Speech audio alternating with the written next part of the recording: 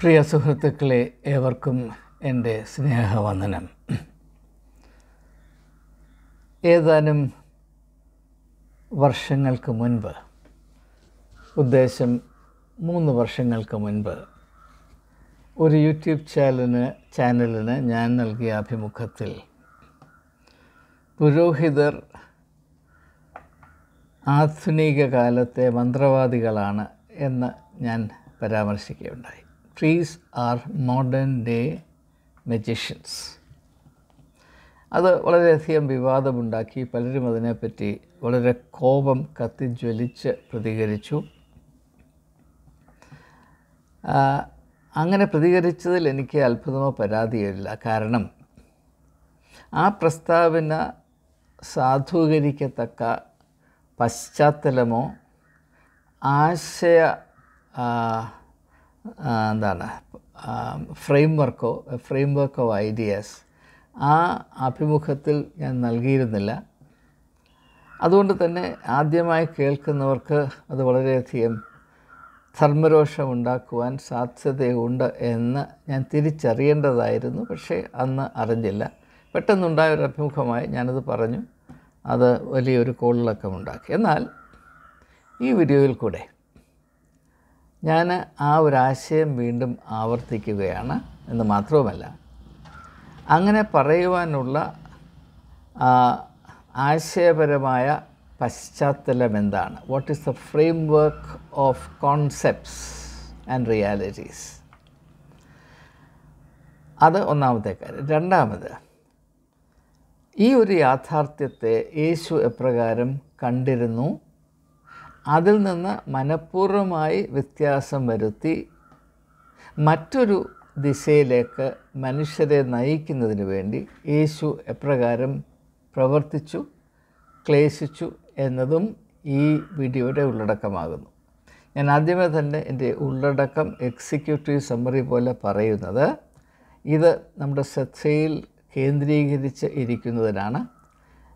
ഇങ്ങനെയുള്ള ആശയങ്ങൾ വളരെ ഫണ്ടമെന്റലി ഇമ്പോർട്ടന്റ് ഇത് മനസ്സിലാക്കുന്ന ആക്ക- ആക്കിയെങ്കിൽ മാത്രമേ യേശുവിന്റെ പഠിപ്പീരുകളുടെ പ്രത്യേകതയും അതിന്റെ തനിമയും ആഴവും ആത്മീയ ആശയങ്ങളും വേണ്ടതുപോലെ നമുക്ക് മനസ്സിലാകുവാൻ സാധ്യമാകുകയുള്ളൂ. ഉദാഹരണമായിട്ട് യോഹന്നാന്റെ സുവിശേഷം പതിനഞ്ചാം അധ്യായത്തിന്റെ നാലാം വാക്യം നമുക്കെല്ലാം കാണാപ്പാടമാണ് നിങ്ങൾ എന്നിൽ വസിപ്പീൻ ഞാൻ നിങ്ങളിലും വസിക്കാം. അങ്ങനെയെങ്കിൽ നിങ്ങൾ അധിക ഫലം കായ്ക്കും. എന്തുകൊണ്ടാണ് യേശു ഇങ്ങനെ പറഞ്ഞത്? അതിന്റെ പിറകിലുള്ള ആശയ പശ്ചാത്തലം എന്താണ്? എന്ന് ആരും നിങ്ങളെ ഇന്ന് വരെയും പറഞ്ഞ് മനസ്സിലാക്കിയിട്ടില്ല എന്നത് എനിക്ക് അച്ചട്ടായിട്ടറിയാം. നിങ്ങൾ ഇതിന്റെ ഉള്ളടക്കം ഈ വീഡിയോയുടെ ഉള്ളടക്കം അവസാനം വരെ കണ്ടു കഴിയുമ്പോൾ ഞാൻ പറയുന്നത് സത്യമാണ് എന്ന് നിങ്ങൾക്ക് ബോധ്യപ്പെടും. ആദ്യമായി എന്തുകൊണ്ടാണ് പുരോഹിത വൃത്തി പ്രീസ്റ്റ് ക്രാഫ്റ്റ് പ്രീസ്റ്റ് ക്രാഫ്റ്റ് മന്ത്രവാദികൾ നടത്തുന്ന ആ ഒരു ക്രിയയുമായി അല്ലെങ്കിൽ അവർ സമൂഹത്തിൽ നൽകുന്ന സേവനവുമായി വളരെയധികം എന്താണ് സമാനതയുണ്ട്. One is like the other എന്ന് പറയാനുള്ള യുക്തി എന്താണ്? ഇത് വളരെ വ്യക്തമായി നാം മനസ്സിലാക്കണം. ആദ്യം മന്ത്രവാദം എന്ന് പറഞ്ഞാൽ എന്താണ്? നിങ്ങളൊരു മന്ത്രവാദിയുടെ അടുത്ത് ചെല്ലുമ്പോൾ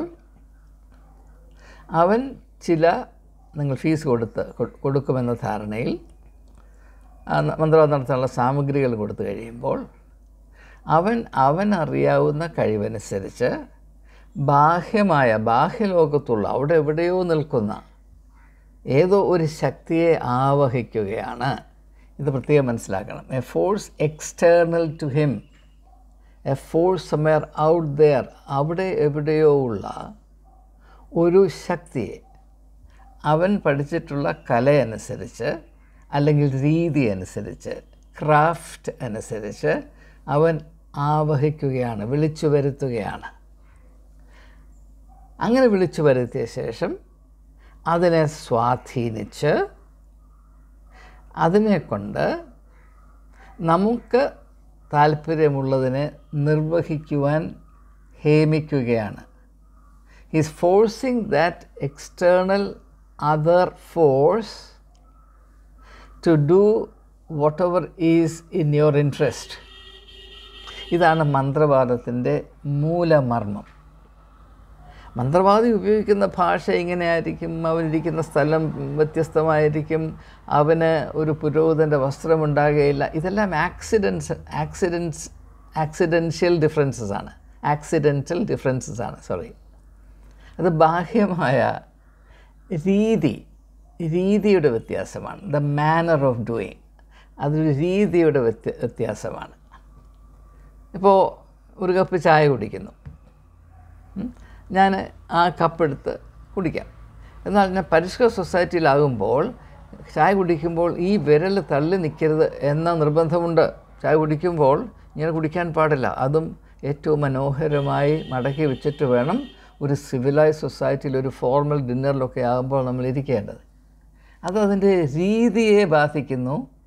കുടിക്കുന്ന ചായയുടെ ഗുണത്തെ അത് ബാധിക്കുന്നില്ല. അതാണ് രീതിയെന്നും അതിന്റെ ധാതു എന്നും ഞാൻ പറയുന്നത്. സബ്സ്റ്റൻസ് ആൻഡ് ദ മാനർ അപ്പോൾ മന്ത്രവാദി will differ from the priest in terms of his രീതി മാനർ ഓഫ് ഡൂയിങ് പക്ഷേ ഇൻ പ്രിൻസിപ്പിൾ താത്വികമായി അവൻ ചെയ്യുന്നതും പുരോഹിതൻ ചെയ്യുന്നതും ഒന്നാണ്. പുരോഹിതൻ എന്താണ് ചെയ്യുന്നത്? നിങ്ങൾ പുരോഹിതനെ സമീപിക്കുന്നു. അവൻ നിങ്ങൾക്ക് നിങ്ങളുടെ പക്ഷത്ത് നിന്നുകൊണ്ട് അവൻ പഠിച്ച കലയനുസരിച്ച് അങ്ങ് ദൂരെയുള്ള ദൈവത്തെ നിങ്ങൾക്ക് അനുകൂലമായി പ്രവർത്തിക്കുന്നതിന് നിർബന്ധിക്കുന്നു. ഞായറാഴ്ച ആണെങ്കിൽ നിങ്ങൾ ഈ മന്ത്രവാദിയുടെ അടുത്ത് പോകുന്നത് പോലെ നിങ്ങൾ പള്ളിയിൽ പോകുന്നു.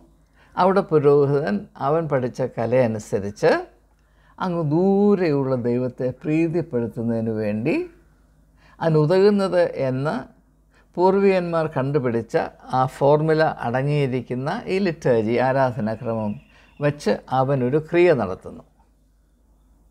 അപ്പോൾ അതിൽ കൂടെ എന്തോ പ്രാപിക്കും എന്ന് നാം വിശ്വസിക്കുന്നു.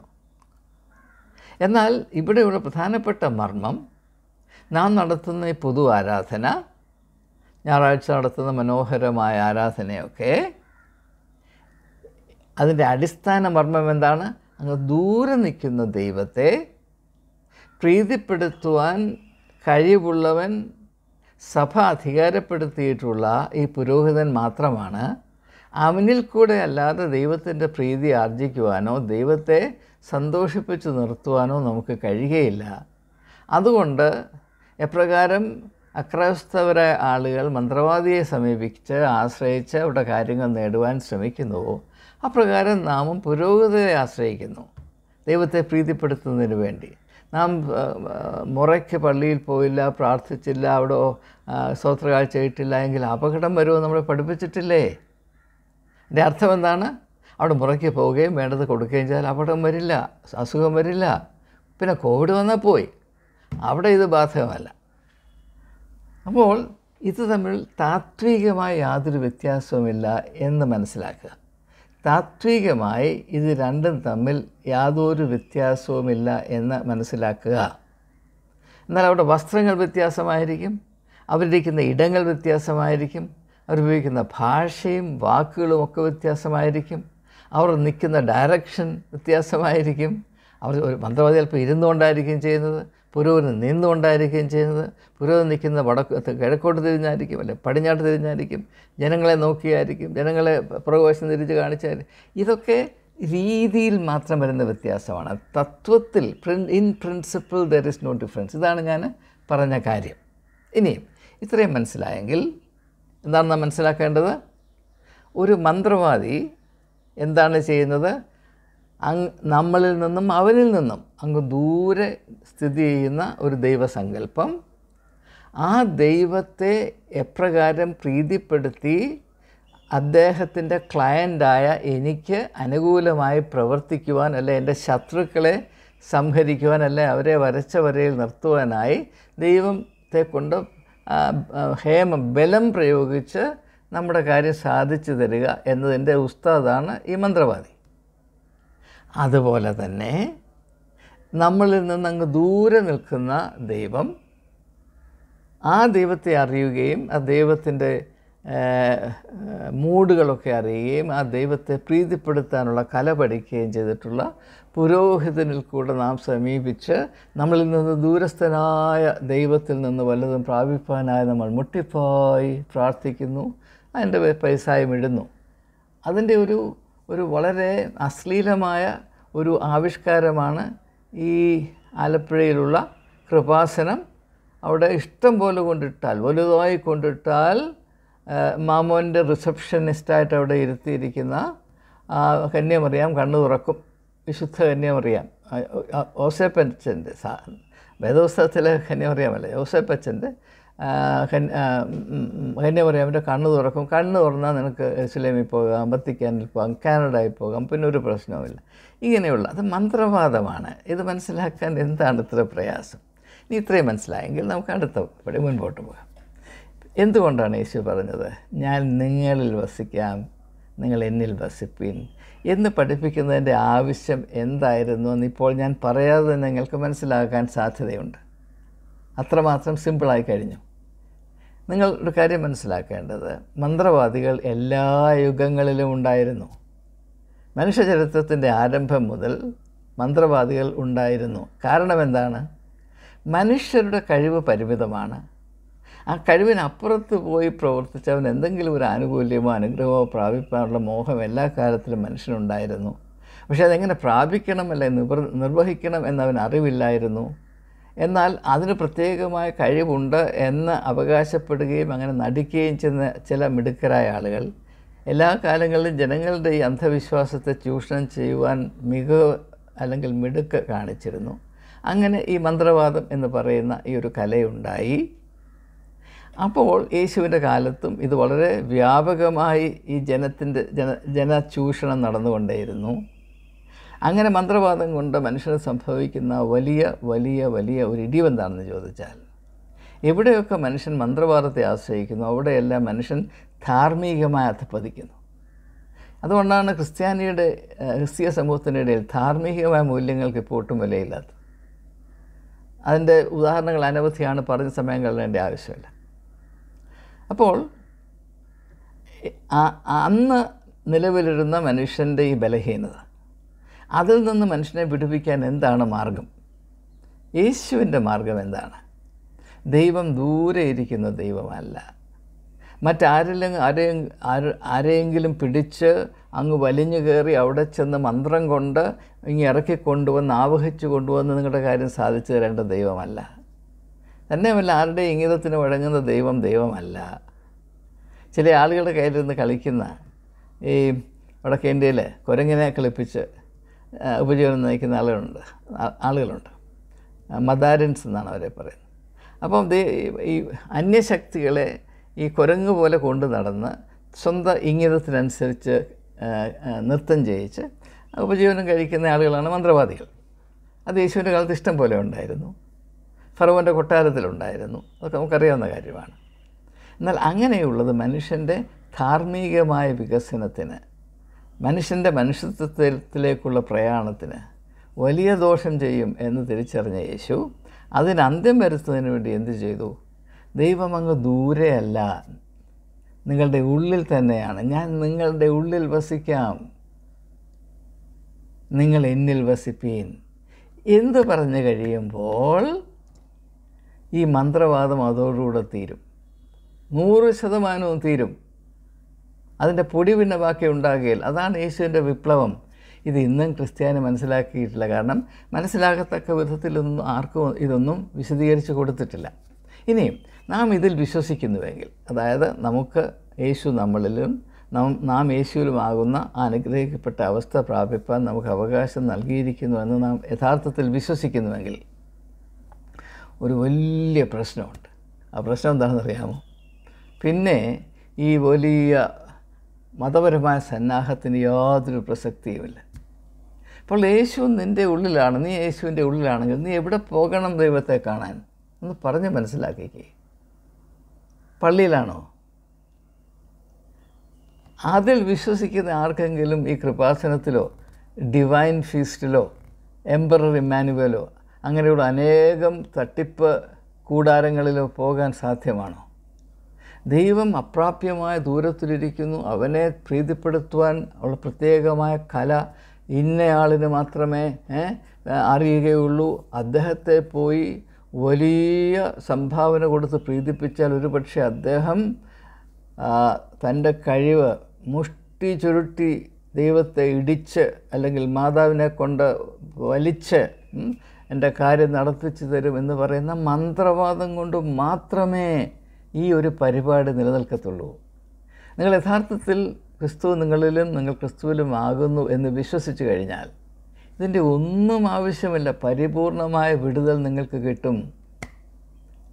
ഇത് ക്രിസ്ത്യാനിക്ക് മനസ്സിലാകാൻ പ്രയാസമാണ്. എന്തുകൊണ്ടോ ഇതൊരിക്കലും നമ്മുടെ കയ്യിൽ പ്രസ്താവിക്കപ്പെടുന്നില്ല. കാരണം ആ ഒരു അനുഭവത്തിലേക്ക് വിശ്വാസി വളർന്നു കഴിഞ്ഞാൽ പിന്നെ ഈ സംഘടിതമായ സഭയുടെ ആശ്രിതനായി കഴിയുവാനും നമ്മുടെ ഇടയിൽ ഇപ്പോൾ പന പോലെ തഴച്ചു വളരുന്ന ആൾ ദൈവങ്ങളുടെ അടുത്ത് പോയി കുരങ്ങ് കളിക്കാനോ ആർക്കും ആവശ്യമുണ്ടാകുകയില്ല ഈ വലിയ മത മത ഹൈപ്പർ മാർക്കറ്റ് നടക്കുന്നവരുടെ കച്ചവടം പൊളിഞ്ഞു പോകും.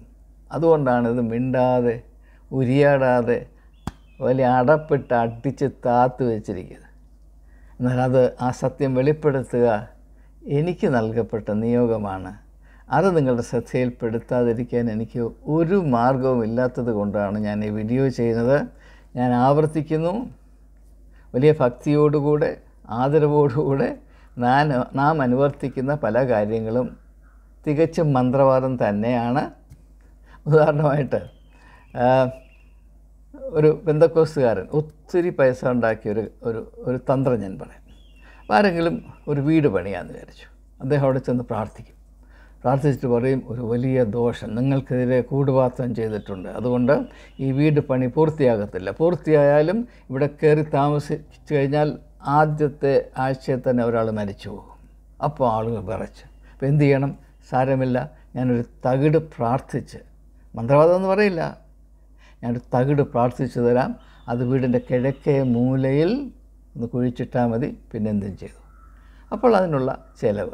ആ തകിടിന്റെ വില പതിനായിരം രൂപ ആയിരിക്കും അല്ലെങ്കിൽ ഇരുപതിനായിരം രൂപ ആയിരിക്കും. അപ്പം ചെമ്പിന്റെ വിലയെ ആലോചിച്ച് നോക്കണം. ഇങ്ങനെ ഞാൻ ഉദാഹരണങ്ങൾ പറയേണ്ടത് നിങ്ങൾക്കറിയാവുന്ന കാര്യമാണ്. അതുപോലെ നമ്മുടെ ഇടയിലുള്ള പല പല വലിയ സംരംഭങ്ങൾ ഈ അത്ഭുത രോഗശാന്തി വിദഗ്ധർ ഇവരൊക്കെ മന്ത്രവാദികളാണ് നമുക്കറിഞ്ഞുകൂടാ പുരോഹിതന്മാരും മെത്രന്മാരും യഥാർത്ഥത്തിൽ താത്വികമായ മന്ത്രവാദികളാണ്. ഇത് എന്റെ ആശയമല്ല.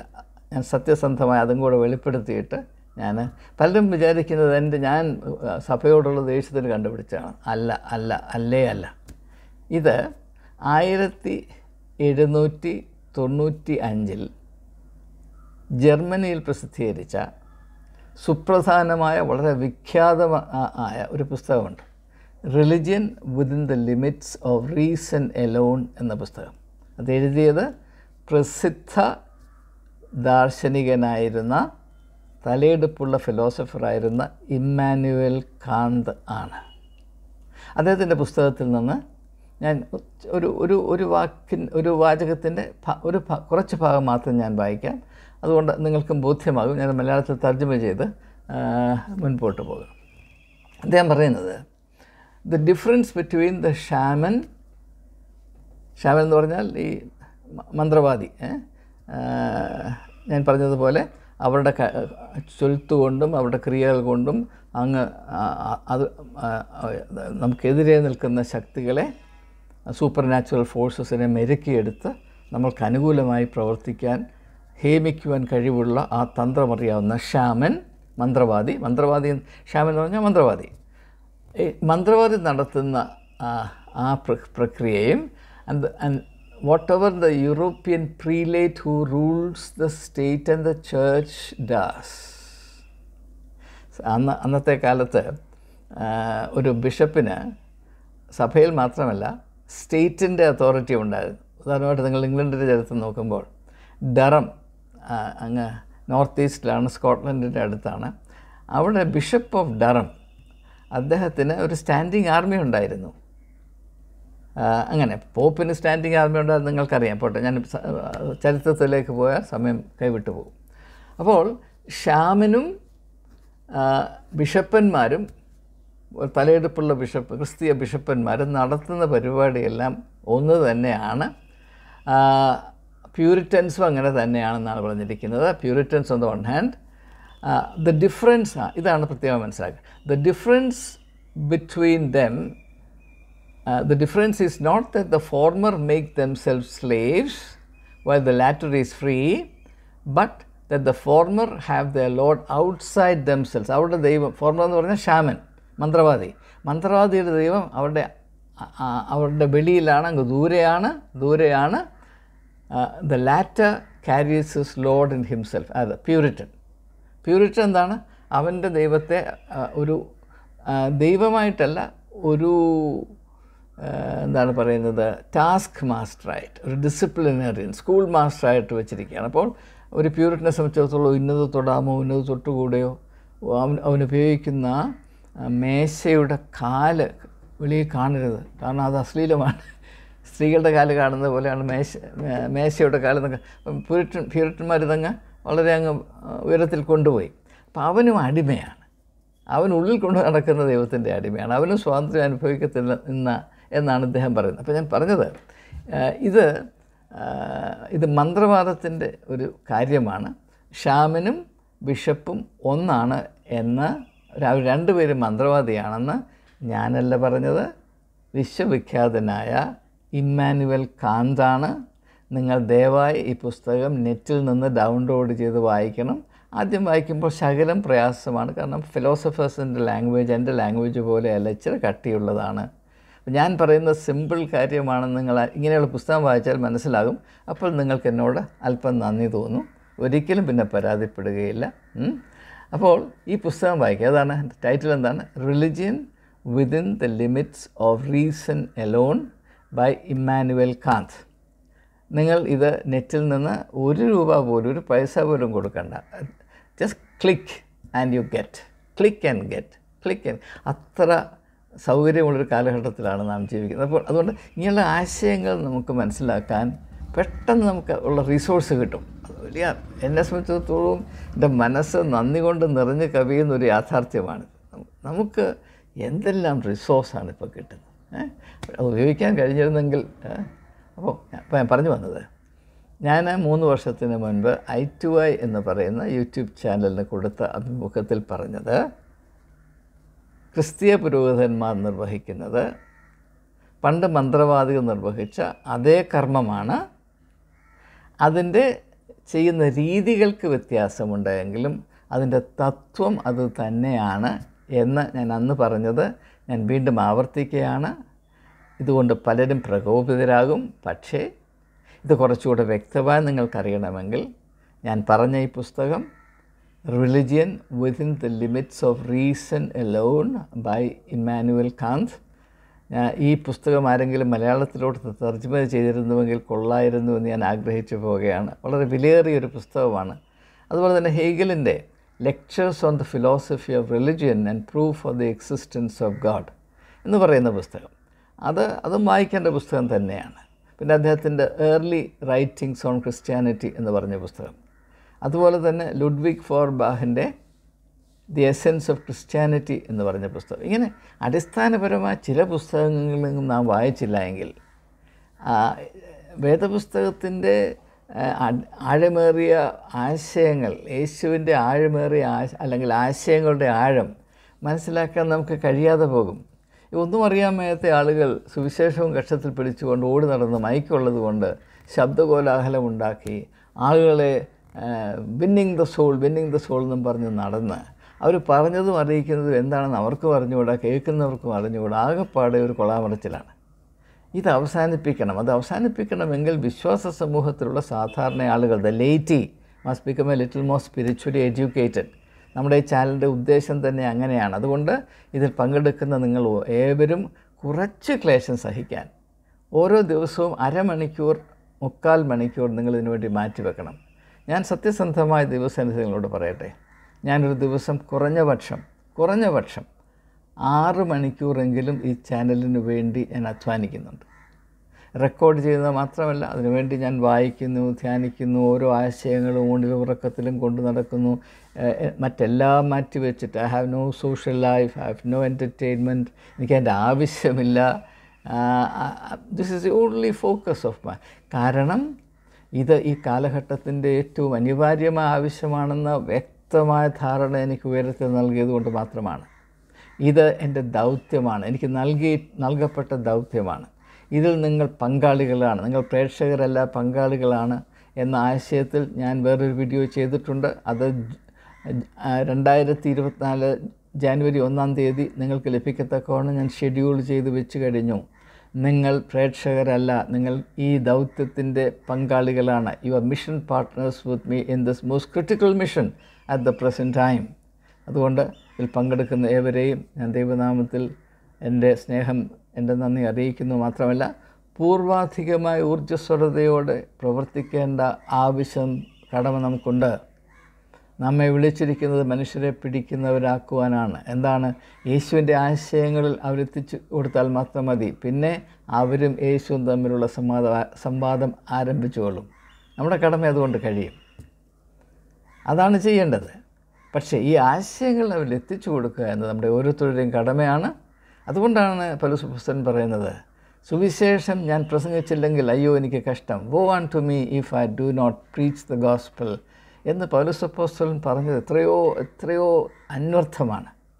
ആ ആശയങ്ങൾ ആ ആവേശം ഉൾക്കൊള്ളുവാൻ ഇതിൽ പങ്കെടുക്കുന്ന വിശ്വാസികളായ എവർക്കും പ്രത്യേകിച്ച് ക്രിസ്തു മതത്തിന് വെളിയിലുള്ള ആളുകൾ ഇതിൽ പങ്കെടുക്കുന്നു. ഞാൻ അവർക്ക് പ്രത്യേകമായ വന്ദനം.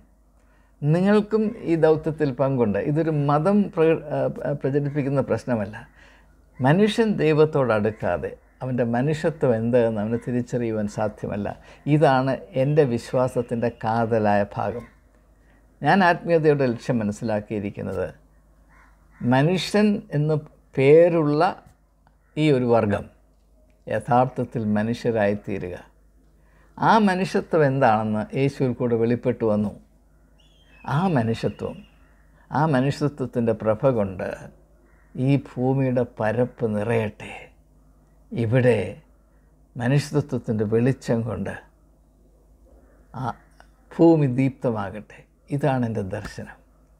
ആ വലിയ ലക്ഷ്യപ്രാപ്തിയിലേക്കുള്ള നമ്മൾ പ്രയാണത്തിൽ പങ്കെടുക്കുന്ന ഏവരെയും ദൈവം കലവറയില്ലാതെ അനുഗ്രഹിക്കുകയും അവരുടെ മനസ്സ് പരിശുദ്ധിയിൽ നിന്ന് ഉദിക്കുന്ന ആവേശം കൊണ്ട് ആവേശത്തിന് തിരത്തൽ തിരത്തള്ളൽ കൊണ്ട് നിറയ്ക്കുകയും ചെയ്യട്ടെ എന്ന് പ്രാർത്ഥിച്ചതിന്റെ വാക്കുകൾ ഉപസംഹരിക്കും